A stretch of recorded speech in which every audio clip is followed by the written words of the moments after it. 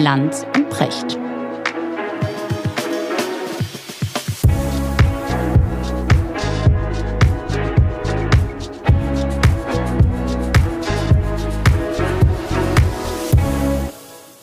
Schönen guten Morgen, Richard. Guten Morgen, Markus. Ich hatte heute Morgen ein so lustiges Erlebnis, bin wach geworden, mache mein Telefon an und stoße auf einen Post von den Kollegen von Terra X History. Äh, und darauf siehst du Helmut Kohl und dazu die Überschrift lädt dieser Post langsamer wegen Helmut Kohl. Und ich musste so lachen, weil wir ja auch gelegentlich Leitungsschwierigkeiten haben und dachte, genau, und lädt auch unser Podcast gelegentlich langsamer wegen Helmut Kohl. Okay. Äh, da wird die schöne Geschichte aufgedröselt, dass ja äh, äh die Regierung Schmidt äh, 1981 beschlossen hat, dass Deutschland bis 2015, also Westdeutschland, mit Glasfaseranschlüssen ausgestattet sein soll. Äh, und heute sind wir, was Glasfaseranschlüsse angeht, ganz, ganz, ganz, ganz weit hinten, weil Kohl äh, lieber das Privatfernsehen gefördert hat äh, und hat dann äh, in ganz großen Stil Kupferkabel verlegen lassen und zwar mhm. ohne Leerrohre dazu, ja, die heute den Ausbau deutlich erleichtern würden. Hatte das nicht was mit Schwarzschilling zu tun?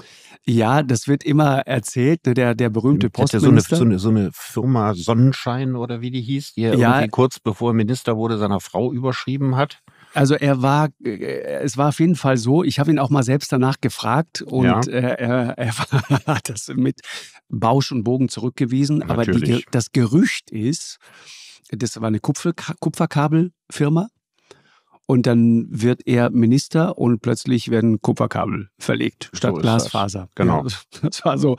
Die Kollegen von Terra X History allerdings spekulieren darüber, dass das was mit äh, Leo Kirch zu tun hatte ne, der Ausbau des Privatfernsehens und diese ganzen vielen ja. Kupferkabel, weil ähm, Kirch hat davon vor allen Dingen profitiert. Als da vielleicht den jüngeren Zuschauern nochmal erklären, wer Leo Kirch Leo Kirch ist, ja, das ist wahr. Ein Dudesfreund von Helmut Kohl, äh, von dem Kohl nach der Kanzlerschaft für vermeintliche Beratertätigkeiten 1,8 Millionen DM äh, ohne mhm. nachweisbare Gegenleistungen bekommen hat. Ja? Also der so ein riesiges Imperium aufgebaut hat, ursprünglich Filmhändler.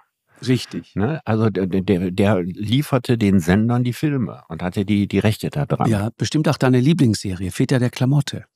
Ach, was meinst du mal auch? Leo ja, Kirch? Sicher. Ja, 100 ja, ich, ich, ich glaub, alles. alles. Alles war Leo Kirch. Genau. Ja. Und er, er schwang sich quasi Kreiden. auf, das Privatfernsehen in Deutschland quasi zu werden mit seiner riesigen Firma. Richtig. Und er ist dann irgendwann politisch sehr hoch gestiegen quasi, also durch, durch Begünstigung und dann aber auf brutalste Art und Weise zur Strecke gebracht worden. Richtig.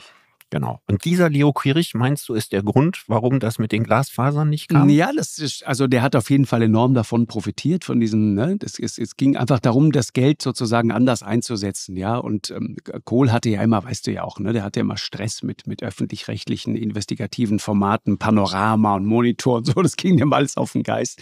Die sind dem ja auch auf den Zeiger gegangen. Das kann man wohl sagen. Ja. Genau. Also man kann den Groll gut verstehen, aber das ist so ein bisschen die, die, die Vermutung. Ich finde es nur heute interessant, weil wir gleich, ähm, ich wollte heute mit dir mal über Indien äh, äh reden. Ja. Richard, du hast ein tolles Gespräch neulich zu dem Thema gehabt, kommen wir gleich dazu.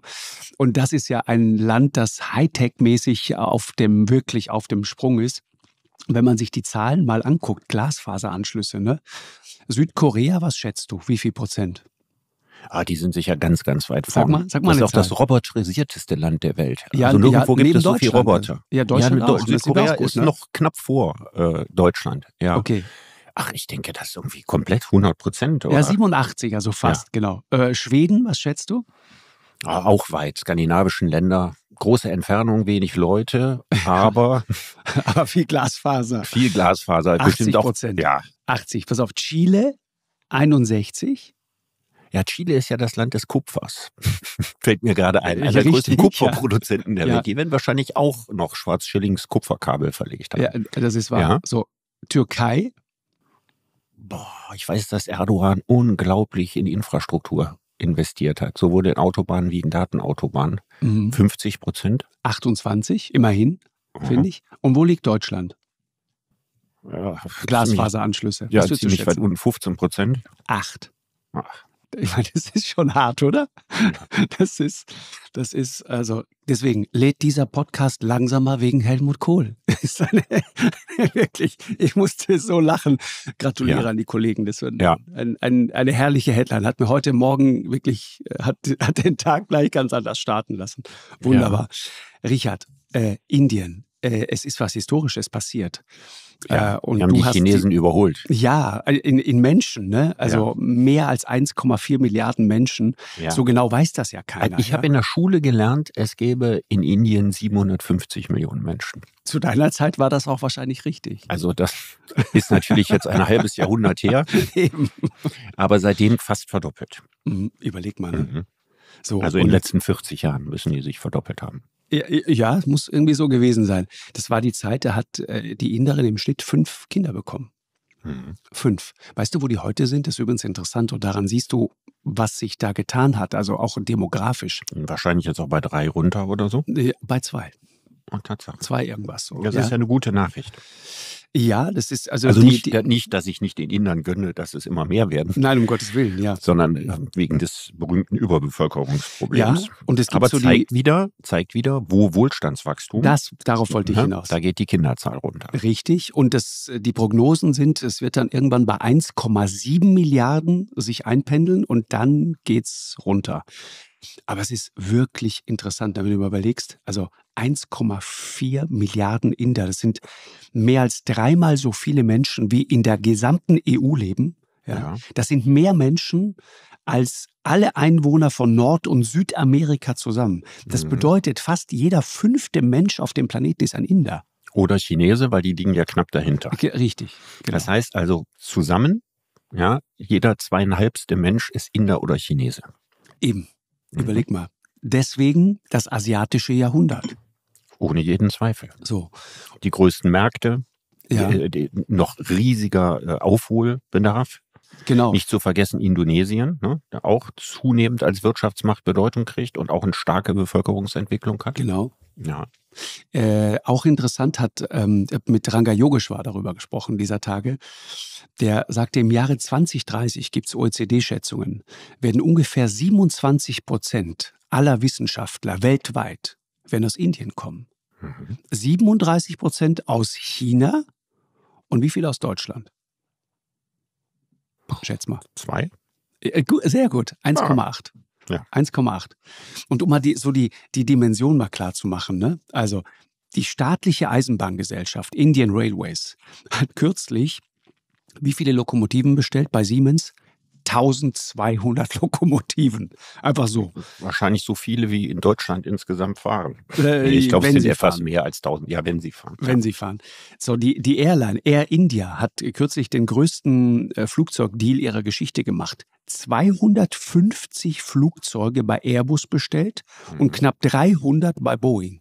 Mhm. Das musst du dir mal vorstellen. Du bist Kannst ein Land. überlegen, was wäre die Weltwirtschaft ohne China und Indien? So, Ne? Also ja. wir, wir, hätten mit, mit, mit Abstand nicht dieses Wachstum gehabt und diesen Wohlstand hier, wenn wir nicht unglaublich von diesen Märkten profitieren. Würden. Und, und immer noch, ne? Also ein, ein immer Drittel, mehr, immer, ja, mehr. immer mehr. Also gerade genau. was China anbelangt, genau. sowohl die USA wie die Europäer investieren mehr und mehr und mehr in China. Richtig. Also während auf der politischen Ebene gesagt wird, oh, genau. da müssen wir aufpassen und dürfen uns nicht abhängig machen, läuft ökonomisch exakt das Gegenteil. Genau, das mhm. ist der Punkt. Äh, das ist diese seltsame Widersprüchlichkeit und ich, ich habe es in so einen Kontext gestellt. Ich finde es das Gleiche wie bei der Deutschen Bahn. Ne?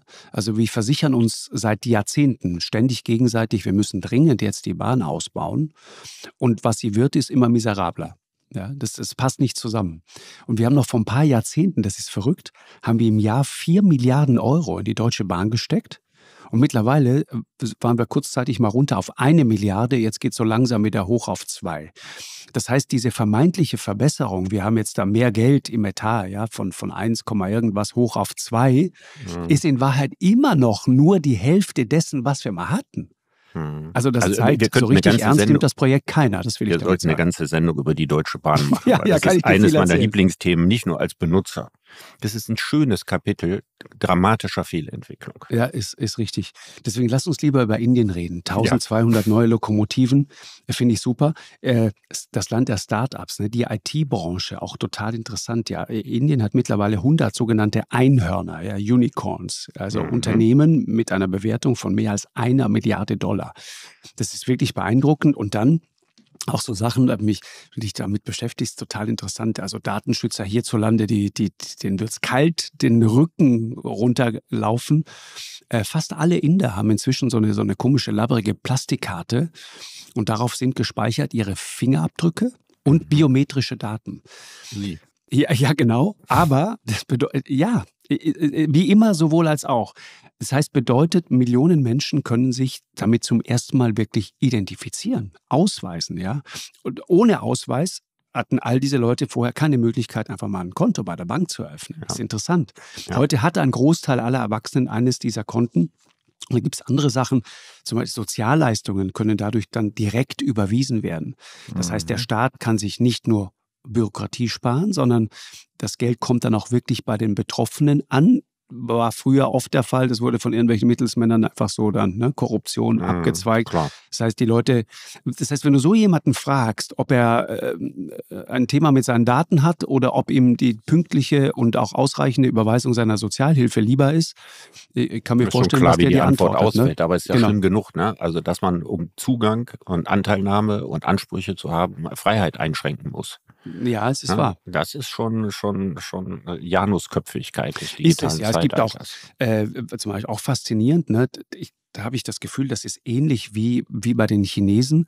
Einer der Gründe, sagen Leute, die sich damit auskennen, warum die Chinesen so unfassbar schnell plötzlich in diese Digitalisierung reingekommen sind, ist ja, dass sie ja die Laptop-Phase, ne, die wir alle noch so erlebt haben, die haben die ja übersprungen. Mhm. Es geht ja direkt sozusagen aufs mobile Endgerät, direkt auf die Apps, direkt aufs, aufs Handy. Mhm. Und das passiert gerade in Indien auch. Ne? Mittlerweile äh, Systeme, äh, ist so ein Milliardär am Start, äh, Nilekani heißt der, der hat ein Zahlungssystem geschaffen, können jeder Inder heute binnen Sekunden Geld von einem Handy auf das nächste transferieren und zwar komplett gebührenfrei.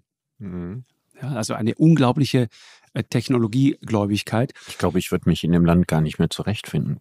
Gibt es da noch Bargeld eigentlich? In Indien mit Sicherheit. Ja, okay. klar. Indien. Warst du mal in Indien? Nee. Äh, ich habe mal für eine Reportage in, in, im, im Süden in Chennai gedreht. Ich meine, Indien ist ja kein Land, sondern es ist ein Kontinent. Ne? Das ja. ist einfach gigantisch groß. Und ich erinnere mich noch an diese unvorstellbare schwüle Hitze die macht dich wirklich fertig. Mhm. Und ich erinnere mich äh, an dieses laute, äh, wuselige äh, in, in diesen Städten. Für jemanden, der gerne fotografiert, wie ich, natürlich ein, ein, ein also Wahnsinn. Ja, es ist eine Welt bunt und laut und lärmig und ähm, dann hast du überall diese Straßenstände und dann gehst du hin und sagst, ich hätte jetzt gerne mal ein Brötchen irgendwie. Und sagt er, ja, mit, mit Hühnchenfleisch und so weiter. Und sagst, ja, sehr gerne mit Hühnchenfleisch. Und dann fällt dir auf, äh, hinter diesem Tresen gackert es mhm. irgendwie in so einer Kiste und plötzlich hört das Gegacker auf. Mhm. Und dann weißt du, jetzt kommt gleich dein Brötchen. Ja, das mhm. ist einfach, weil die Abwesenheit von Kühlschränken äh, natürlich dazu führt, dass du das Hühnchen einfach so am Start haben musst. Richtig. Das ist, ist sehr beeindruckend. Und äh, wir haben damals eine Reportage gedreht über, über indische Mädchen, die auf dem Land ähm, bis heute zum Teil äh, umgebracht werden. Äh, und zwar nach der Geburt. Äh, auf, äh, es gibt, gibt sieben oder acht verschiedene Arten und Weisen, wie diese Kinder umgebracht werden, weil ein Mädchen für viele arme Familien äh, tragischerweise eine große Belastung darstellt. Mhm. Mitgift, die Mitgift wird in Gold ausbezahlt. Äh, und das können sich viele arme Familien nicht leisten. Und dann spielen da Hebammen und Großmütter und so weiter eine ganz traurige Rolle bei dieser ja. Geschichte. Mit Müttern dort gesprochen, das, das zerreißt dir wirklich das Herz. Und das ist ein großes Tabu, ist auch schwierig, mit jemandem sich darüber zu unterhalten. Indiens tote Töchter, ich glaube, gibt es noch in der Mediathek. Äh, war damals ein, ja, ein sehr, sehr berührender Film. Und das ist mir wirklich so im Kopf geblieben und auch, wie, wie die Dinge so zusammenhängen. Ne? Also, damals habe ich verstanden, wenn wir hier mit Gold spekulieren und der Goldpreis geht nach oben, dann bedeutet das in Indien ist ein Mädchen jetzt in großer Gefahr, mhm. weil auch dort der Goldpreis steigt. Das sind so Zusammenhänge, die du dann plötzlich verstehst und wo du merkst, okay, da in, in diesem ganz abgelegenen Dorf in Indien auf dem Land schlägt plötzlich die Globalisierung. Zahlt jemand zu. für die Spekulation. Ja, mhm. richtig. Das ist wirklich hart, wenn man das dann mal so, so begreift. Aber abgesehen davon, ähm, was du auch immer siehst, ist diese Lebensfreude und dieses Wollen, ja, dieses Verliebtsein ins Gelingen. Ähm, diese Inder, die, die wirklich jetzt merken, okay, es ist jetzt unser Moment. Und du hast neulich, Richard, ein tolles Gespräch äh, zu dem Thema geführt. Äh, Habe ich mir angeguckt. Bei dir in der Pankaj Mishrai. Ja. Mhm. Was, wie, wie hast du den erlebt? Was berichtet der? Also das ist ein indischer Schriftsteller, Philosoph, ne? Ja, Kulturhistoriker, Schriftsteller der äh, mal ein sehr erfolgreiches Buch geschrieben hat, Das Zeitalter des Zorns, in dem er versucht hat, die Wurzeln des Terrorismus zu erklären vor einigen Jahren. Sehr gutes Buch dazu. Okay, was ist die These? Naja gut, er bringt es natürlich mit der Kolonialgeschichte äh, in Verbindung. Ne? Und dass der, der Terrorismus ähm, von den Terroristen selber immer noch in der Tradition des Kolonialismus als Freiheitskampf empfunden wird. Mhm. Ja, gegen Besatzer, die äh, eine Welthegemonie aufgebaut haben und die dann nichts mehr verloren haben. Dass es sozusagen deren Selbstverständnis ist. Und das Interessante, er hat äh, zuletzt ein Buch geschrieben, äh, in erster Linie eigentlich über die Engländer und die, die englische Kolonialgeschichte. Und er wirft den Engländern vor, dass sie ihre Verbrechensgeschichte nicht adäquat aufgearbeitet haben im Vergleich zu den Deutschen. Genau. Also er lobt Deutschland sehr. Ich habe auch in der Sendung gesagt, das war natürlich für Deutschland auch keine Frage eines anderen Weges. Also Deutschland hat ja den Krieg verloren. Das, das fand ich ja, und, interessant. Und, und in Deutschland du hast, du hast gesagt, Verlierer, Verlierer genau. müssen neu nachdenken Richtig. über ihre Werte, ihre Moral, ihre Rolle in der Welt. Und Sieger tun das im Regelfall nicht. Und Großbritannien war halt Sieger. Er war zwar letztendlich Verlierer des Zweiten Weltkrieges und Deutschland Gewinner, wirtschaftlich gesehen, aber militärisch war es umgekehrt. Das heißt also, in Großbritannien musste nicht irgendeine Kontinuität aufgebrochen werden und man musste ein völlig neues Selbstverständnis, eine neue Moral entwickeln. Man musste sich nicht hinterfragen. Sozusagen. Genau, die USA, mussten das, ja. USA mussten das auch nie. Das heißt also, ihre Verbrechensgeschichte gegenüber den Schwarzen, gegenüber der indigenen Bevölkerung und so weiter, musste nie im vergleichbaren Stil aufgearbeitet werden mhm. und ist deswegen als latenter Rassismus ja auch noch vorhanden, wie die Deutschen das gemacht haben. Und das ist das, was Pankaj Mishra sehr bewundert. Ja, und sagt also, wenn, wenn alle Völker des Westens sich so benehmen würden wie die Deutschen und so mit ihrer Geschichte umgegangen wären, dann wären wir heute viel weiter. Er sagt aber, dass die ehemaligen Kolonialmächte, Frankreich, England, in gewisser Hinsicht die USA, das nie getan haben. Mhm. Und dass es deswegen so schwierig ist, dass der Begriff des Westens Länder zusammenbringt, die einen sehr, sehr unterschiedlichen Umgang mit ihrer eigenen Verbrechensgeschichte pflegen.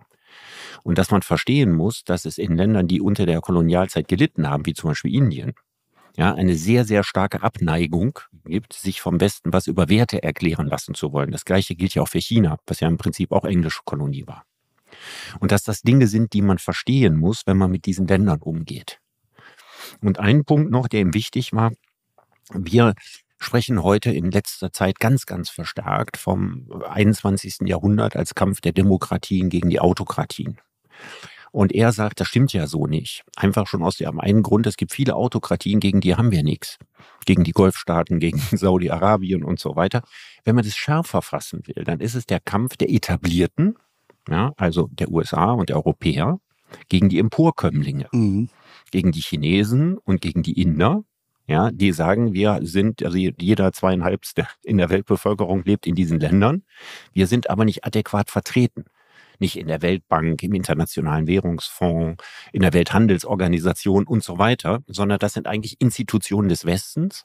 Und seine Befürchtung ist, dass der Westen nicht auf adäquate Art und Weise bereit ist, die Früchte des Wohlstandes in dieser Welt mit den Emporkömmlingen zu teilen. Mhm. Und das, sagt er, wäre sozusagen die Matrix für die Konflikte, in die wir jetzt reinkommen.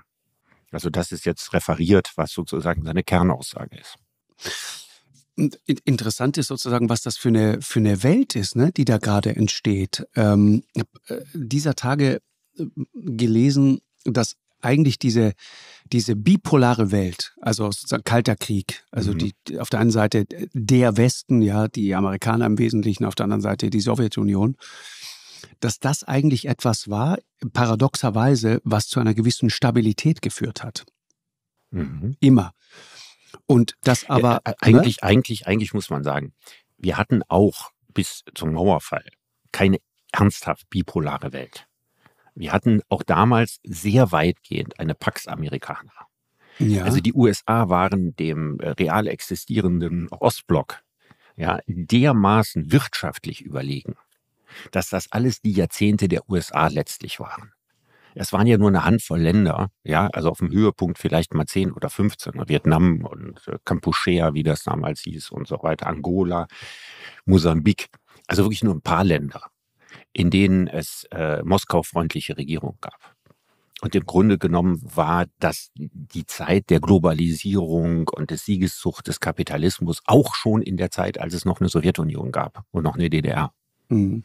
Eigentlich kann man zusammenfassen, dass die Zeit nach 45 eben die Zeit war, in der die USA die uneingeschränkte Hegemonialmacht in der Welt war. Von, wie gesagt, diesen winzigen Ausnahmen abgesehen. Und was eben jetzt passiert ist, dass diese Macht bröckelt durch den wirtschaftlichen Aufstieg der asiatischen Länder und man kann sich auch überlegen, dass da in Zukunft noch andere hinzukommen. Saudi-Arabien, sollte sich der Iran mal aus der Geiselhaft der Mullahs befreien, wäre der Iran auch ein solcher Kandidat. Brasilien Richtig. steht schon lange auf der Richtig. Warteliste. Genau. Das heißt also, das, das, Gefüge verändert sich. Und dieser Text, von dem du gerade gesprochen hast, diese Expertise mhm. für, für, deutsche Sicherheitspolitik, die sagt das von Matthias Kennert, ne? Ja, am stabilsten sei die Welt, wenn es einen Hegemon gibt. Mhm. Das mag durchaus so sein, zum Beispiel in der Zeit des Römischen Reiches. Es ist aber keine moralische Rechtfertigung für ein Hegemon. Es könnte ja dann jemand anders dran sein. Dann könnte man sagen, okay, dann ist jetzt mal China der Hegemon, ist so gut, wenn es nur einen gibt. Genau. Ja, also so kann man moralisch nicht argumentieren. Nee, das ist richtig. Wobei das ist ja auch nur analysiert und es ist natürlich schon interessant, denn man, man hört das so, ja, ich hm, konsumiere ja dann auch irgendwie viel, weiß ich nicht, politische Lektüre und so weiter. Man hört das im Radio, man ist auf dem Weg zur Arbeit, man kriegt das mit, da gibt es diesen neuen Mega-Player, ja. Also wenn du überlegst, jeden Monat strömt eine Million Inder neu auf den Arbeitsmarkt dort. Mhm. Das ist irre. Wenn du dir überlegst, 80 neue Flughäfen sind dort im Bau. Also das ist, ist ein, wirklich ein Riese, der da gerade erwacht und verschiebt sozusagen die Situation. Was Kennert eben sagt, ist, dass, also man würde ja von außen sagen, das ist doch wunderbar. Dann geht es einem weiteren Land jetzt irgendwie gut. Die haben auch, ähnlich wie die Chinesen, die haben, glaube ich, 400, 500 Millionen Menschen so aus der Armut geholt. Mhm. Aus bitterster Armut, ja, muss man in Indien wirklich sagen. Ich, mhm. ich weiß auch, in, in diesem Slum damals in Chennai, da haben wir auch, auch gedreht und waren da unterwegs. Da habe ich das erste Mal begriffen, was wirklich Leben in einem Slum bedeutet. Wo du wirklich denkst, okay, da ist jetzt irgendwie noch so, so, so ein Kellerloch rein, da werden vielleicht drei Kartoffeln gelagert. Nee, nee, in dem Kellerloch wohnt dann plötzlich ein Mensch. Dann schaust du plötzlich in die stahlblauen Augen einer sehr, sehr alten Frau. Ich habe dieses Foto damals gemacht, das habe ich immer noch vor Augen mich wahnsinnig beeindruckt und man fragt sich, wie geht sowas? Mhm. Und deswegen ist es erstmal eine gute Nachricht, wenn Menschen aus solchen Verhältnissen rauskommen. Sogar, also, also nicht nur gut, sondern das ist, also, es das ist, gehört zu den größten, größten ja. Leistungen der letzten 50 Jahre. Ja. ja. gehört das, was in Indien und in China passiert ist. Genau. Also unter dem Gesichtspunkt menschenwürdiges Leben ist es ja, gut. Sind das die Länder, die am meisten getan haben, aufgeholt haben und sozusagen die größte Leistung vollbracht haben? Richtig. Das muss man anerkennen bei allen Dingen, die man an diesen Ländern auch kritisieren kann.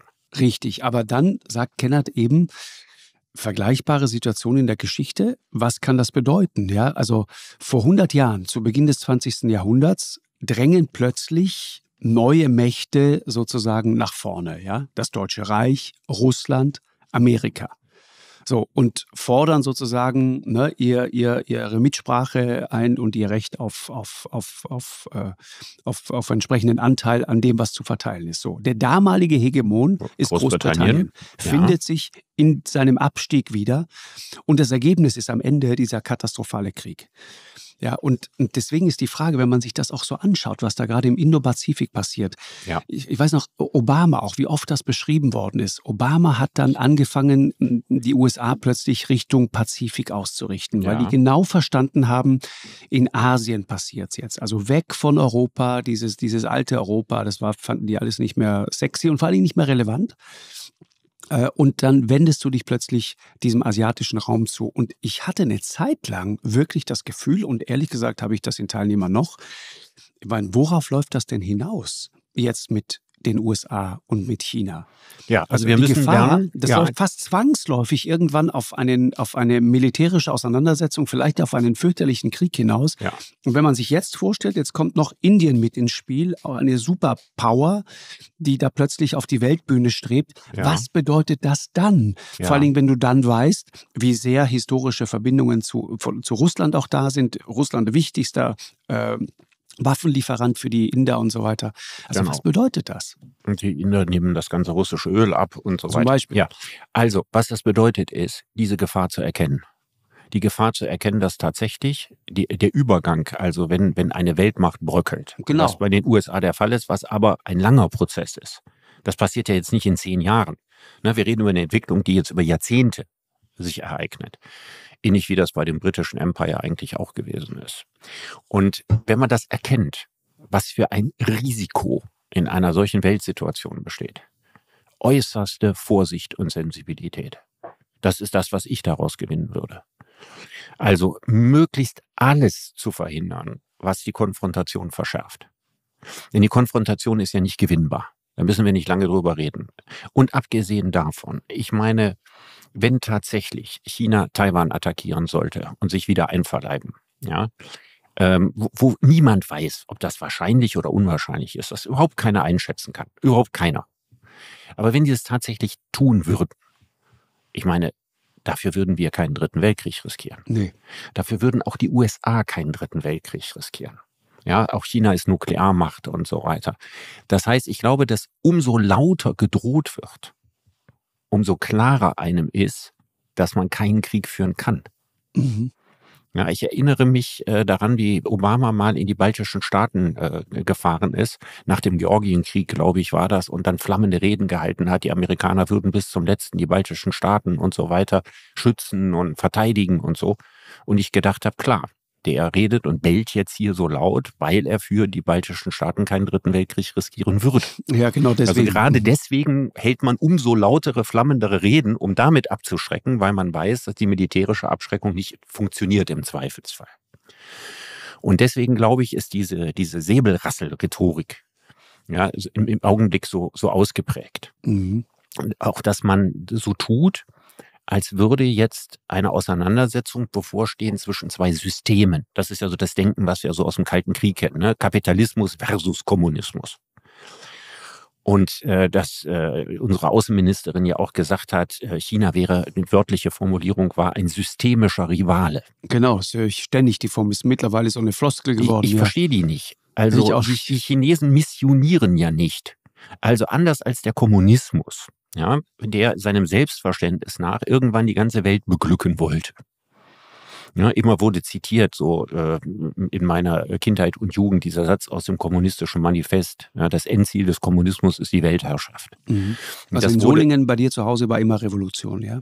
Nee, also das wurde immer von, von, von den Konservativen so, ja. ja. gegen, gegen alle Linken ja. gemacht. Nach dem Motto, ja. was meinst du, was die wollen? Die wollen alles nur erobern und so genau. weiter, ja, und einen Angriffskrieg nach dem anderen führen und so.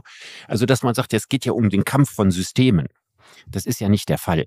Also erstens ist China, wenn man mal ehrlich ist, äh, kein kommunistisches Land, sondern ein kapitalistisches Land, sogar ein turbokapitalistisches Land, kapitalistischer als Deutschland. Ja, nirgendwo. Mit weniger Sozialstaat du, du, und so weiter. Genau. Du, also, du kennst das, ne? Es gibt, wir haben ja keine Systemkopf. Ja, ja. Dann kann man sagen, ja, aber die sind doch kollektivistischer als wir und so weiter. Ja, das sind die auch schon immer seit tausenden von Jahren gewesen, aber die missionieren nicht, indem die sagen, die ganze Welt muss jetzt so werden wie China. Ja, also das Interessante ist, und ich finde, das kommt viel zu kurz, wer missioniert eigentlich mit seinen Werten? Weißt du, wo der Ursprung dafür sitzt? In monotheistische Religionen. Mhm. Das Christentum, ja, stimmt. Ja, Kreuzzüge, ja, und äh, früher war die, war, ging, hieß es nicht Demokratien gegen Autokratien, sondern Christen gegen Heiden. Ja, und, das, und der Islam als die beiden großen monotheistischen Religionen die haben sozusagen, wir breiten uns immer weiter aus und die anderen sind weniger wert und so. Ja, dieser und da das Christentum, ne? Ja. ja, das Christentum natürlich ein wichtiger Teil unserer DNA ist, haben wir das Aufklärung und so weiter beibehalten. Ja, also diese, dieser Mission, Missionsanspruch, die müssen so werden wie wir. Das haben die Chinesen nicht, die Inder auch nicht. Zwei, zwei buddhistisch geprägte Länder, wie Indien kommt da noch der Hinduismus dazu, der eigentlich aus Persien kommt. Und diese Länder missionieren nicht ihre Weltanschauungen, sondern die sagen, ihr könnt bleiben, wie ihr wollt, macht das, wie ihr wollt, wir machen das, wie wir wollen. Mhm. Das lassen wir aber nicht zu. Und darüber müssen wir nachdenken. Warum ist das für unser Selbstverständnis nicht mehr zu vertreten, dass ein Land wie China einen anderen Weg politisch geht, eben keine Demokratie ist, als wir? Warum können wir nicht sagen, es ist deren Sache? Das ja, habe ich nicht verstanden. Warum können wir die nicht in Ruhe lassen? Die haben doch ein Recht darauf, ihren Weg zu gehen. Ich möchte nicht gerne in China leben. Ich bin ein absolut glühender Anhänger westlicher Werte. Aber gerade weil ich das bin, würde ich mit diesen Werten nicht missionieren und rumdrohen. Mhm. Das heißt, wenn du jemanden wie Annalena Baerbock dann siehst in Peking, was dann habe ich das Gefühl, aus? Also wenn ich ganz ehrlich sein darf, dass ich immer, immer denke, was für ein Unfall, dass diese Frau Außenministerin geworden ist. Ja, also ich nehme an, dass die hätte doch normal unter normalen Bedingungen im Auswärtigen Amt nicht mal ein Praktikum gekriegt dass jemand mit so diesem moralischen Inbrunst einer Klassensprecherin, einer Weltmacht, einer Kulturnation versucht zu erklären, was westliche Werte sind, sie als systemische Rivalen definiert und quasi ein Eskalationsszenario an die Wand malt. Eine wertegeleitete Außenpolitik, die in Wirklichkeit eine konfrontationsgeleitete Außenpolitik ist. Statt einfach mal kleine Brötchen zu backen und sich sagen, solange wir in Deutschland wirtschaftlich erfolgreich sind, nehmen die Chinesen uns mit allem drum und dran ernst.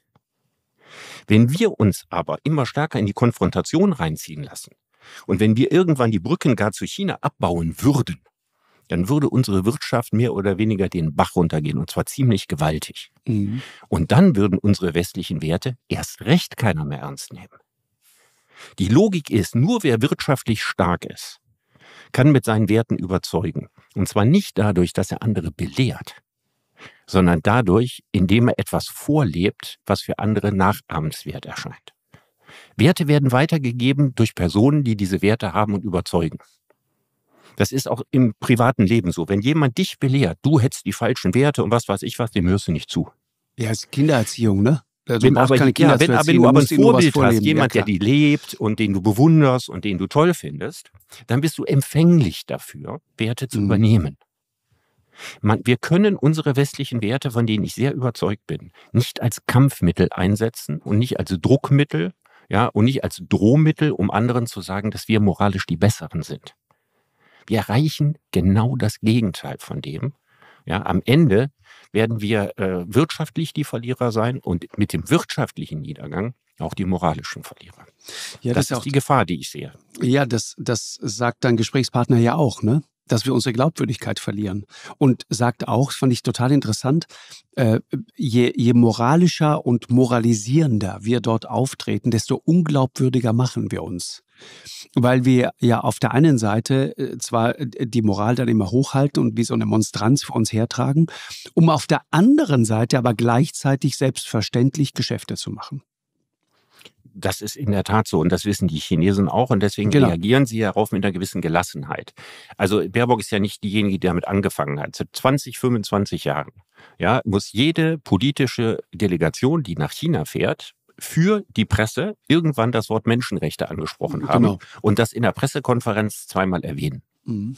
Die Chinesen wissen das, die lächeln still darüber. Ja, die wissen, das müssen die deutschen Politiker und Wirtschaftsdelegationen für die Öffentlichkeit machen. Aber die wissen auch, es bedeutet nichts. Es ist nur Show. Ja, es ist, wo, äh, weißt du, was es ist? Es ist Senden nach Hause. Ja. Es geht gar nicht um die Chinesen. Es geht darum, zu Hause diese Botschaft zu setzen. Ja. Also für mich ist ähm, der Inbegriff weiser China-Politik immer Helmut Schmidt. Also in den Zeiten von Helmut Schmidt hat das ja auch angefangen, dass die Deutschen verstärkt in China investiert haben und China als Absatzmarkt und so weiter begriffen haben. Das war die Offenheitspolitik so. Deng Xiaoping, mhm. der auf Mao gefolgt war und so weiter. Und Schmidt hat immer sehr bewusst gesagt, dass er die westlichen Werte notfalls auch mit dem Knüppel verteidigen würde dass es aber nicht unsere Aufgabe ist, andere Länder wie China zu erziehen oder zu belehren mit diesen Werten. Mhm. Und ich würde mir so wünschen, wir würden zu dieser Schmidtschen Weisheit zurückkommen Und ich möchte keine Außenministerin sehen, ja, die in der UNO den Chinesen droht für den Fall, dass sie Taiwan angreifen. Mit was denn? Mit was denn? Da ist diese gerade mal etwas über 40-jährige äh, junge Frau, die in ihrem Leben noch nichts geleistet hat. Ja, und droht diesem Land, das 600 Millionen Menschen aus der Armut rausgeholt hat. Dass die, die rasanteste wirtschaftliche Entwicklung da äh, hingelegt hat, die je ein Land auf diesem Planeten gemacht hat. Das ist doch unsagbar zum Fremdschämen. Also ich, ich verstehe das Argument, Richard. Ich meine, der Punkt ist natürlich äh, die Tatsache, dass sie eine Frau ist, dass sie 40 Jahre alt ist, dass sie vielleicht noch relativ unerfahren ist und so weiter. Das ist ja, das ist kein Argument, finde ich. Ne? Sie spricht ja in dem Moment für Deutschland. Und es geht ja darum, wie wir uns als Deutschland verorten. Und es ist am Ende eigentlich dann zweitrangig, wer die Botschaft sozusagen übermittelt. Die Frage ist, ob wir als Land das genauso vermittelt haben wollen. Ne? Das ist ja der interessante Punkt. Für mich und, ist und wenn hinter der, Drohung, hinter der Drohung sozusagen nichts ist, Mhm. Ja, dann unterhöhlst du damit natürlich oder deine Glaubwürdigkeit komplett. Das ist der Punkt. Wenn, wenn, wenn du weißt, du drohst jetzt und am Ende ist das Maximale, was kommt, ist, wir schmeißen mit Wattebäuschen oder spritzen mit Wasserpistolen, äh, dann bringt das halt nichts. Also die Tatsache, dass sie eine Frau ist, ist ja völlig irrelevant. Ich ja, hätte auch genau. sonst gesagt, wenn ein 40-jähriger alter Mann das gewesen ja, ja, wäre, klar, hätte ich 40 Jahre äh, nur mal ja, Ich genau. meine nur jemand, der auf keine Lebensleistung zurückblickt. Das ist nicht unwichtig gegenüber den Chinesen, die eine Kultur der Altersweisheit haben. Wo man also erst ernst genommen wird ab einem bestimmten Alter und eben demonstrieren muss, was man alles geleistet hat. Und das ist in den Augen der Chinesen, wenn man bis dahin relativ wenig geleistet hat. Ich will jetzt nicht die Sünden noch aufzählen, ja, von gefälschten Lebensläufen und nicht selbstgeschriebenen Büchern und was weiß ich was. Also man hat als Person ja nichts an Lebensleistung zu bieten. Das ist aus der chinesischen Perspektive, wenn man solche Reden macht, wo man China droht, nicht ganz unwichtig. Mhm. Dann kannst du dir überlegen, wie das auf der anderen Seite wahrgenommen wird. Als die ist, das Einzige, was an der grün ist, ist die Farbe hinter ihren Ohren. Das ist die Art und Weise, wie das wahrgenommen wird. Und deswegen spielt das Alter in diesem Falle doch eine Rolle. Das okay. ist nicht dasselbe, ob ein Kissinger irgendwie was sagt, ja. Gut, man, ja, muss, nicht, man muss nicht sozusagen eine hundertjährige Mumie sein. Eben. Aber wenn das jemand ist, der, der, der eine, eine große Lebensleistung ja. vollbracht hat, ja, oder schon seit zehn Jahren ein Land regiert oder ein Statesman ist und so weiter, wenn der sowas sagt, ist das was anderes, als wenn das jemand macht, der vorher nur Parteipolitik gemacht hat und gerade mal gut 40 ist. Das mhm. macht einen Unterschied. Äh, würdest du nicht sagen, ich mache jetzt noch einen Versuch, würdest du nicht sagen, fand es ganz interessant, ich habe mit Kai Strittmatter äh, äh, sehr gutes Buch, ich weiß nicht, ob du das kennst, Die Neuerfindung der Diktatur. Kollege von der Süddeutschen, der lange China-Korrespondent war, der feiert Annalena Baerbock mhm. und sagt, höchste Zeit, dass einer mal klar redet, weil das tun die Chinesen ihrerseits auch. Das fand ich interessant. Also jemand, der sagt, und das können die auch ab. Das, das, das ist nichts, was die irgendwie großartig aufregt. Das können die wunderbar ab. Damit können die, können die umgehen und dann wissen die sozusagen, woran die sind. Also der schätzt das äh, völlig heißt, anders. Aber was heißt, die wissen, woran sie sind? Ich meine, die, das, was da auf der einen Seite, auf der Ebene der Außenministerin das gesagt formuliert, ne? und das, was wir wirtschaftlich machen, sind ja sowieso zwei verschiedene Dinge. Deswegen können die Chinesen das mit großer Gelassenheit nicht ernst nehmen. Es ja. hat keine Konsequenzen. Es, ja, also ich, ich finde, man, man könnte dann ja, es geht ja nie darum zu sagen, wir machen jetzt mit denen gar keine Geschäfte mehr und es findet dieser Handel nicht statt. Äh, Klammer auf, können wir uns auch mit Blick auf den deutschen Wohlstand nicht mal ansatzweise leisten. Also wenn man weiß, das fand ich immer interessant, auch in der Sendung, bin ich immer so, komme ich mir so vor wie der Rufer in der Wüste manchmal, wenn ich da sitze und sage, äh, was auch von den großen Konzernen, zum Beispiel VW und andere, ja, ein Drittel des Gewinns ja, kommt aus China. Ja, die, die verkaufen so viele Autos wie, wie Amerika und 40 Europa. 40 Prozent ja. aller von deutschen Firmen produzierten Autos werden auf dem chinesischen Markt verkauft. So, Richtig. Noch in ein paar Jahren genau. werden es nicht mehr viele sein. Genau, und wenn du dann siehst, wie wir bei der Elektromobilität, die in China ein Riesenthema ist, Chinesen ja, wir fliegen da aus dem Markt jetzt raus, ja, weil genau. wir, ich meine, der, der, Hauptgrund, da haben wir uns schon oft drüber unterhalten, warum wir die große Wende zur Elektromobilität gemacht haben und in dem Tempo machen, Hat mit Umwelt ja nichts zu tun, das geht um den chinesischen Markt. Richtig, die haben Und das die Chinesen angesagt. machen das auch nicht in erster Linie aus Umweltgründen, sondern in erster Linie deswegen, weil ein Elektroauto kann jeder bauen. Und das kann man sehr, sehr viel günstiger bauen als ein Verbrennungsmotorauto. Und die Ja. Chinesen haben jetzt ja die, die, die Deutschen auch äh, überholt im Ja, Hinblick VW auf Pro Produktion ja, von Elektroautos. VW ist nicht mehr Marktführer in. China. Nee. Das erste Mal seit 40 Jahren, muss man sich vorstellen. Es passieren gerade wirklich viele, viele Dinge. Und es ist so interessant, äh, dass du vorhin gesagt hast, das geht langsam. Das ist der Punkt. Das geht langsam, aber es geht. Es passiert. Es findet statt. Und VW ist mit Blick sozusagen auf Autoverkäufe insgesamt immer noch die Nummer zwei im chinesischen Markt. Nummer eins ist BYD. Die machen übrigens nur E. Also ausschließlich, machen äh, nur Elektro, die setzen voll auf Elektromobilität. Und das Interessante ist aber, wenn du dir, und da wird es dann spannend, die Zahlen anguckst im Bereich E-Autos, da liegt VW bei 2,4 Prozent in Ja. China. Das heißt, der Tag, an Also dem in du dem gar keine Geige mehr ja, genau, Ja. Der, ist ab, der ist abgefahren. Ja. Und das ist, das ist eine bittere Nachricht. Ähm, und du siehst ja auch, deswegen finde ich es ganz interessant, also wenn wir jetzt gerade über, über mm, den Auftritt der Außenministerin sprechen, wir sehen es ja auch an Indien, weil wir heute über Indien ein bisschen reden, Richard. Und das kam ja auch in deinem Gespräch daraus, ähm, wie schwer wir uns tun, uns klar zu positionieren, wie überrascht wir sind, also wie verstört nachgerade, wenn wir dann merken, da, fährt dann Scholz nach, nach Indien und trifft sich mit Modi, äh, der auch ein interessanter Mann, ja, der, der äh, eine wahnsinnige Biografie. Sein Vater hat, hatte einen Teestand, einen Bahnhof in Westindien irgendwo. Das heißt, ist ein Beweis dafür, was du im modernen Indien offensichtlich, also Stichwort Kastensystem, dann doch an Aufstieg schaffen kannst, wenn du dich unfassbar anstrengst. Das hat er offensichtlich gemacht und daraus resultiert auch ein großer Teil seiner Glaubwürdigkeit, der Sohn eines Teeverkäufers, ja.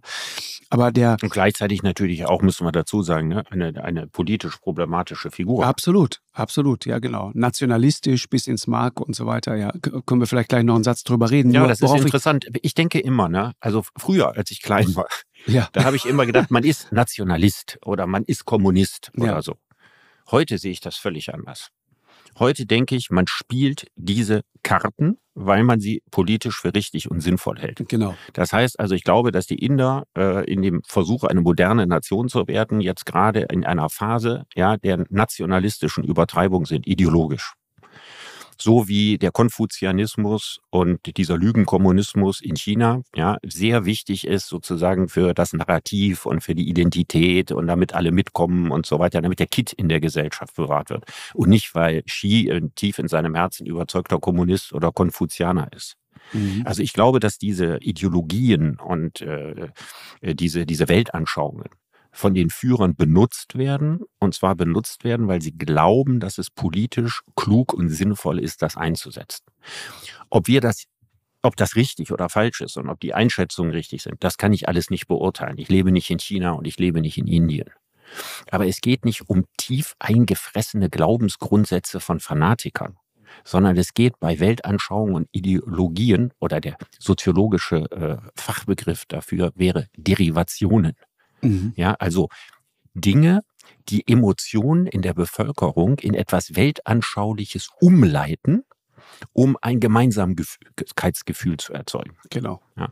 Und das läuft aus einer ganzen Reihe von Gründen in China völlig anders ab als im Westen und in Indien nochmal anders ab. Aber ich glaube, dass es am Ende gar nicht um Weltanschauungen bei diesen Dingen geht.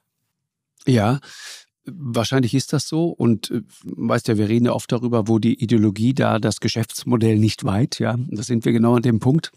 Aber ich fand es so interessant, wie verstört wir dann plötzlich alle waren, als wir gemerkt haben, oh, warte mal, äh, Sicherheitsrat, die Inder enthalten sich, die, die sind ja gar nicht irgendwie auf unserer Seite. Verstehe ich jetzt gar nicht. Wir, wir kommen doch jetzt alle, äh, im Moment geben sich ja alle Staatschefs, alle Außenminister, jeder, der irgendwie kann, eilt nach Indien, äh, umarmt Modi, mal mehr, mal weniger innig.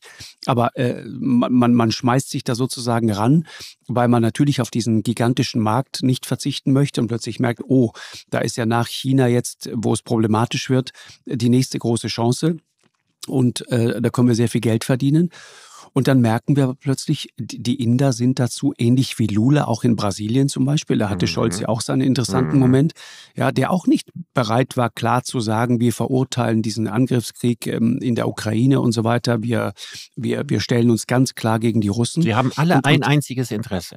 Die wollen den Westen nicht stärken. Richtig. Die wollen nicht, dass der Westen aus diesem Krieg als großer Sieger hervorgeht. Genau. Weil das diese Entwicklung zur multipolaren Gesellschaft für einige Zeit dämmen würde. Ja, und, und, und verlangsamen würde. Genau. Und das ist das Hauptinteresse dieser Länder. Und deren Interesse besteht auch darin, dass es nicht zu einem neuen Vertrag von Tordesillas kommt. Ja, also der neue Vertrag von Tordesillas war, als sich die äh, Portugiesen und die Spanier um Südamerika gekloppt haben. Und dann hat in Tordesillas der Papst eine Linie an die Wand gemalt und gesagt, das eine ist eure Einflusssphäre und das andere ist die andere. Das heißt, die wollen jetzt keine Welt aus zwei Einflusssphären. Die wollen keine Welt, wie wir das sagen, Demokratien gegen Autokratien. Ja, das ist der Grund, ne, warum in, in Brasilien Portugiesisch und im Rest genau. von Lateinamerika Spanisch gesprochen genau. wird. Da wurde sozusagen ein Mann hat als lassen, Schiedsrichter ja. ja äh, Welt äh, sozusagen für, für Jahrhunderte ja, eine zentrale Entscheidung getroffen, indem er gesagt hat, wir malen wir die Linie und rechts davon gehört denen und links von denen. Und dass wir wieder in eine Welt kommen, Tordesillas war ja auch äh, die Mauer. Ja, das war ja auch eine Tordesillas-Linie. Ja, genau dasselbe. Auf der einen Seite dieses System, auf der anderen Seite das System. Und wenn wir gucken, was die Herausforderungen im 21. Jahrhundert sind, ne, globale Ökokatastrophe, Klimawandel und, und, und, dann dürfen wir nicht mehr in dieses Wir gegen die Schema zurück. Mhm. Bei Strafe unseres eigenen Untergangs nicht. Wir können uns auch nicht leisten, jetzt über Jahrzehnte Turbo-Hochrüstung zu betreiben. Mhm. Das ist alles Geld, was wir brauchen, um das Überleben der Menschheit zu sichern. Also je schneller wir aus diesem Denken wieder rauskommen, umso besser für die Welt. Ja, ja, aber du merkst ne, an diesen Reaktionen, äh, auch in, in, in, in Delhi dann, wenn man sich dann trifft und plötzlich feststellt, warte mal, also die sind ja gar nicht, die stehen quasi dazwischen und genau da wollen sie auch stehen. Richtig. Ja, die Inder, die wollen das nicht, die wollen sich nicht klar weder auf die eine noch auf die andere Seite schlagen, wie sehr uns das verstört und was umgekehrt zeigt, wie unglaublich tief diese Art zu denken, ja, bist du nicht für uns, dann bist bist du automatisch gegen mhm. uns, ja. Wie tief diese Art zu denken Aber in so uns allen so drin So dürfen wir nicht weiter denken. Wenn wir weiter so denken, führt uns das ins Unheil. Also A, militärisch und B, wirtschaftlich. Wir gewinnen nichts dadurch. Das ist der Punkt. Verstehst genau. du? Wenn es eine reale Chance gäbe, Freiheitswerte in der Welt dadurch durchzusetzen, wenn es überhaupt eine reale Chance gäbe, dann kann man darüber nachdenken. Aber diese Chance gibt es nicht. Militärische Konfrontation oder am besten noch Wirtschaftsboykotte, Sanktionen und was weiß ich was führen doch nicht dazu, dass genau. unsere Werte sich weiter ausbreiten. Wenn man von denen so überzeugt ist wie ich, dann weiß man, wie sensibel man mit diesen Werten umgehen muss. Genau. Ja, es war. Also ich, ich finde es auch interessant, weil du gerade sagtest, was da stattgefunden hat, ja, so willkürliche, willkürliches Ziehen von irgendwelchen Sprachgrenzen oder auch politischen Grenzen und so weiter. so haben wir ja unfassbar viele Fehler gemacht äh, und Dinge einfach äh, laufen lassen, obwohl wir wussten, dass sie falsch sind und so weiter. Ich, wir haben neulich über Moldawien gesprochen. Mhm. Äh, für mich war der Überfall, ja, der Angriff der, der auf, auf Moldau durch, durch Russland, das war äh, ehrlich gesagt irgendwo so eine Randnotiz, ja. Aber im, im Bewusstsein der Moldauer sitzt das ganz tief drin. Ja, dieser, dieses Transnistrien, dieser eingefrorene Konflikt, das klingt dann so verharmlosend, so euphemistisch, so beschönigend. Ein eingefrorener Konflikt, der denkst du, wäre eine Tiefkühltruhe und das Hähnchen, das da drin liegt. Komisches ja. Nix. Ja. ja, äh, von wegen. Das war ein richtig harter Krieg. Die haben die angegriffen und das haben sich die Moldauer gemerkt. Und sie haben sich auch gemerkt, dass wir so getan haben, als wäre nichts. Mhm. Ja. Aber das umgekehrt Gleiche, können wir nicht überall in der Welt, wo so etwas ist, ja, mal kurz gucken, was da im Augenblick im Sudan abläuft. Man könnte jetzt mal eine Karte machen, wo es ist. Wir würden uns ja völlig überanstrengen, wenn wir jetzt überall westliche Werte in der Welt ernsthaft durchsetzen wollten, mal abgesehen davon, dass es natürlich ganz, ganz viele Länder gibt, die diese westlichen Werte auch gar nicht haben wollen. Ja, auch das. Ja, das genau. war ja zum Beispiel das, was wir kritischerweise beim arabischen Frühling erleben mussten. Da haben wir doch auch gedacht, jetzt müssen diese blöden Diktatoren da weg. ja, in Libyen Gaddafi genau. und, und das ist doch eine gute Sache. Tunesien und in Ägypten der Mubarak, der so lange unser Freund war und von einem Tag auf den anderen nicht mehr und Assad weg und so. Und dann wird das so westlich demokratisch. Mein Gott, wir mussten daraus lernen. Ja, offensichtlich will die Mehrheit dieser Menschen in diesen Ländern gar nicht westlich, demokratisch, liberal und so weiter werden, sondern die wollen wie die Inder. Die wollen ihren eigenen arabischen Weg, wie auch immer, gehen. Ich stelle mir immer die Frage, was passiert? Und ich glaube, das, das, ich, ich will jetzt nicht Prophet spielen, ne? Mhm. Was passiert, wenn das Mullah-Regime in sich zusammenfällt, wenn das implodiert? Und ich habe immer noch die Hoffnung, dass das in absehbarer Zeit passiert. Wer kommt dann im Iran an die Macht? Und was wird dann passieren? Es wird genau dasselbe passieren. Es wird der Westen, also Europäer, noch viel stärker die Amerikaner, mhm. umgekehrt die Russen, die Inder und so weiter, versuchen, so viel Einfluss wie möglich auf den zukünftigen Iran zu gewinnen. Ihn auf ihre Seite zu ziehen, Richtig. ihn zu mhm. ihrem Land zu machen. Genau das wird passieren. Die Bevölkerung wird in dieser Frage höchst gespalten sein. Das heißt also, es entsteht dann die Gefahr eines langfristigen Bürgerkrieges. Und die wahre Antwort darauf ist, was ist denn das Beste für den Iran? Einen eigenen Weg zu gehen. Mhm. Einen eigenen Weg zu gehen, indem man sieht, wie man mit den anderen Großmächten in dieser Welt halbwegs korrekt und zum eigenen Vorteil umgeht. Ja. Aber werden wir das zulassen? Oder werden wir wieder sagen, Moment, Moment, Moment, wenn ihr nicht zu uns gehört, dann gehört ihr irgendwie zu denen. Und werden wir nicht mit Milliardenaufwand bestimmte Strömungen und Gruppen dann im Iran unterstützen, was dann vielleicht zu einem langen Bürgerkrieg führt und, und so weiter. Wie wäre es mit Nichteinmischung? Wie wäre es damit, dem Iran das Recht und die Chance zu geben, den eigenen Weg zu gehen? Das ist total interessant. Ich mache Punkt. mir Sorgen um ja. diesen mhm. Zustand, was dann passiert, weil ich wünsche mir aus, aus tiefstem Herzen, und ich kenne viele Iraner und ich bin mit Iranern befreundet, und das ist ein Thema, wir haben auch schon mal drüber gesprochen, genau. dass wir dem Iran die Chance geben, den eigenen Weg zu gehen. Ich fürchte aber, dass wir das nicht tun werden. Total interessant. Ich meine, es gibt eine Blaupause, eine historische Blaupause dafür. Ne? Ich meine, die Inder haben sich das gemerkt. Pakistan. Die USA haben Pakistan seit der Gründung 47 auf verschiedensten Ebenen massiv unterstützt. Ja. Und, und ich habe Atommacht gemacht. Ja, und haben denen geholfen. Und, und die, die Inder haben sich das gemerkt und sagen, Europa hätte Pakistan nicht helfen dürfen. Ja, der Terrorismus wurde von Pakistan aus unterstützt und Pakistan konnte seine ganzen terroristischen Aktivitäten in und auch gegen Indien, Kaschmir und so weiter ist das Stichwort, ja, nur machen, weil es die westliche Unterstützung hatte, ganz genau. Und wir hätten das nicht so laufen lassen dürfen. Und immer wenn es in Kaschmir brannte, ja, dann, dann war im Grunde Pakistan dafür verantwortlich, so sehen die Inder das, ja. Äh, Kaschmir gehört aber zu Indien, so ist es nun mal. Das Gleiche, auch interessant, weil du gerade arabischer Frühling sagtest, auch etwas, was man muss sich immer in die Schuhe der anderen stellen, ne? dann wird es richtig interessant. Der Einmarsch im Irak äh, durch die USA und Großbritannien vor allen Dingen, das du, haben die Indien sich auch genau diesen, angeguckt. Diesen, äh, George W. Bush, Tony Blair. 2003, ja. genau. Und sagen, äh, das fanden wir nicht so richtig Knorke, weil Saddam Hussein war ein Freund Indiens. So mhm. sehen die das. Das sagen die auch so und sagen, das war ein riesiger Fehler und es war auch eine Invasion. So wie in der Ukraine. Ja, ein Angriffskrieg. Und deswegen, wenn Europa, genau, Russland vorwirft, in die Ukraine einzumarschieren, dann sagen wir, was habt ihr denn im Irak gemacht? Mhm. So empfinden das die Inder. So ist es ist total das. interessant, sich mal sozusagen in diese Schuhe zu stellen und dann versteht man plötzlich, wie unterschiedlich man auf die Welt gucken kann. Ne? Ja, das ist ja so, wir bewerten Völkerrechtsbrüche unterschiedlich, je nachdem, wer sie begeht. Mhm. Ja, und wenn es die USA sind, mit denen wir politisch befreundet sind, dann gehen wir nachsichtiger damit um, als wenn die Russen das machen. So, das ist jetzt aus einer Reihe von Gründen auch erstmal verständlich oder erklärlich. Nur, wenn wir das durchgehen lassen, dann haben wir sozusagen die moralische Lizenz nicht mehr, Völkerrechtsbrüche in dem Maße zu verurteilen, wie sie verurteilt werden müssen. Mhm. Genau.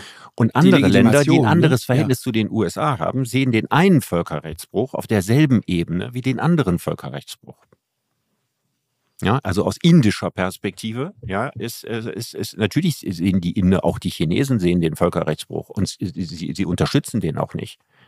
Ja, aber sie wollen nicht, dass der Westen von der Situation profitiert. Mhm. Das ist ihr eigenes Interesse daran, abgesehen davon, dass sie von Russland billige Rohstoffe haben wollen. Gas, die Chinesen, Öl, die Inder und so weiter. Ja, ja, genau. Aber das genau. Wichtigste für sie ist, dass die Weltordnung sich nicht zugunsten der USA wieder ein Stück verschiebt. Mhm. Das ist ihr Interesse daran.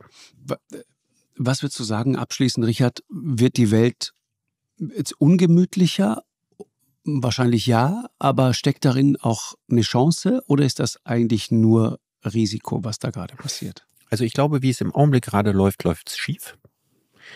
Und ich hoffe, dass wir zur Besinnung kommen und dass wir aus dieser, weißt du, ähm, kriegerische äh, Kriege fangen mit Rhetorik an, ja, ja mit, mit, mit rhetorischem Aufrüsten mit äh, klarer äh, Freund-Feind-Linien-Markierung. Ja, total. Ja, mit also, weltanschaulicher Aufladung der eigenen Position. Richtig. Ja, also man, man richtet sich ja da in einem Palast von Begriffen äh, ein, wie in einer Festung und rüstet erstmal gegen den anderen auf. Und hier wünsche ich mir Achtsamkeit, Abrüstung, Vorsicht. Ja, also zu merken, wenn die Situation so gefährlich ist, wie sie im Augenblick wird, mehr und mehr, dann müssen wir anfangen, wieder vorsichtiger zurückzurudern und so weiter und nicht in die ganze Sache da noch mit, mit zusätzlicher Brandrhetorik äh, reinzugehen. Wir haben diese schreckliche Katastrophe, diesen russischen Angriffskrieg, wir haben diesen Völkerrechtsbruch, wir haben das Morden vor der Haustür und so weiter. Das jetzt noch stärker auszuweiten in einen Globalkonflikt der Demokratien gegen die Autokratien und so weiter. Wohin soll das führen? Tja. Ich glaube, wir bewegen uns in die falsche Richtung. Mhm. Es ist auf jeden Fall interessant, mal die Perspektive zu wechseln, mal zu verstehen, dass ähm, es äh, nicht mehr diese Welt ist, die so klar schwarz-weiß ist, sondern äh, dass da auch sehr viel Grau dazwischen ist. Ähm, und also erstmal zu verstehen, dass wir, also der Westen, ja, ja nicht blütenweiß sind. Ja, das auch moralisch makellos, richtig. Ja, ja, und die anderen nicht alle, ich rede jetzt von China, ja, in erster Linie, dass die nicht tief schwarz sind. Und rot mhm. sowieso nicht. Also das als allererstes Mal zu verstehen, weil wir auch uns in historischen Zeiträumen bewegen, weil für die anderen ist die Geschichte nicht vorbei. Weißt du, wenn du 40 Jahre alt bist und das Gefühl hast, wir sind doch hier die Guten und wir leben in einer freiheitlich-liberalen Demokratie und das ist alles klasse, also können wir den anderen auch was sagen oder belehren, dann vergisst du eine Geschichte, die für dich Vergangenheit ist, die aber in den anderen Ländern noch fortlebt, wie zum Beispiel die Kolonialgeschichte der Engländer, Franzosen und so weiter. Ja, aber weißt du was? Äh, äh, die Kolonialgeschichte wird häufig angeführt. Ich denke ja manchmal, ganz ehrlich, ich meine, wir, also der Westen, wir haben einen Typen wie Trump ins Weiße Haus gewählt. Mhm. Wir haben Boris Johnson in Downing Street Number 10 untergebracht, ja. Was diese Leute dort alles veranstaltet haben, äh, äh, Brexit und so weiter, welches Chaos die angerichtet haben. Und jetzt haben wir über den 6. Januar, Kapitol und so weiter noch gar nicht gesprochen. Also da sind wir doch die Letzten, die sich hinstellen können und sagen können, pass auf, also der Werte, belehren, wie man alles richtig Genau, macht. und alles gewaltfrei. Äh, genauso macht man das, bitteschön. Ja. Ja. Sag mal, ein, zum Schluss ein kleines Gedankenspiel. Mhm. Also ein Typ wie Trump wird US-Präsident oder DeSantis und es würde tatsächlich das Worst-Case-Szenario eintreten, an das ich jetzt nicht glaube, nur als Gedankenspiel. Mhm. Die würden die demokratischen Institutionen in den USA aushöhlen. Ja, und so nach Putinschem Muster zur Pappdemokratie werden. Und wir sagen, im 21. Jahrhundert geht es wertegeleitet um den Kampf der Demokratien gegen die Autokratien dann wären die USA nicht mehr unser Verbündeter, sondern genauso wie China als Autokratie und Russland als Autokratie und Saudi-Arabien als Autokratie unser Feind. ja. Würden wir dann außenpolitisch komplett umschwenken und uns von den USA distanzieren und sagen, mit Autokratien haben wir nichts zu schaffen? Ist doch völlig klar, was die Antwort ist. Wir mhm. sind von den USA wirtschaftlich immer noch genauso abhängig wie von China. Militärisch völlig abhängig von den USA. Wir würden es nicht tun. Genau. Und wenn wir schon wissen, dass wir das nicht tun, dann erkennen wir auch daran, dass die Begriffe Autokratie und Demokratie als Gegenbegriffe so ernst gar nicht gemeint sind. Mhm. Sie verbrämen Interessen. Richard, das war spannend. Äh, wird auch nicht das letzte Mal gewesen sein, dass wir äh, uns darüber unterhalten. Danke dir sehr. Ich danke dir auch. Hab einen guten Tag. Ja, du Bis auch. Bald. Tschüss, tschüss, tschüss. Eine Produktion von M2 und Podstars bei OMR im Auftrag des ZDF.